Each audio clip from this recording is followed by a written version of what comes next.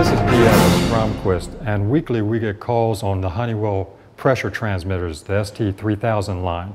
We need to identify the transmitters by part number or by some description.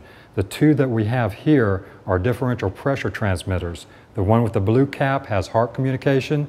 The one without the blue caps have Honeywell communication. One of the first things that you can tell us is whether it has a blue cap or a gray cap, which tells us whether it has HART communication or Honeywell communication. Now, the one thing we need is the part number to help you out.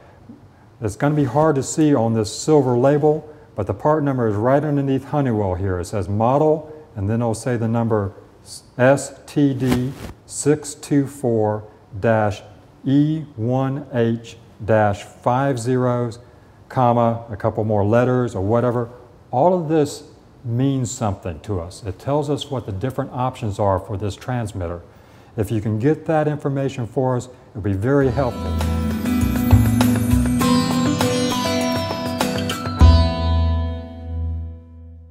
One other piece of information, it'll show a little bit further down that the factory calibration on this particular one is 0 to 100 inches water column.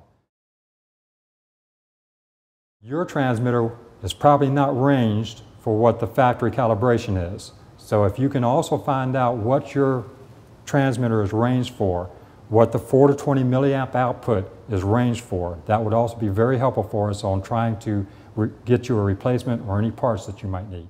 Not sure what it's ranged for, ask your instrumentation engineer. He should be able to find that out for you.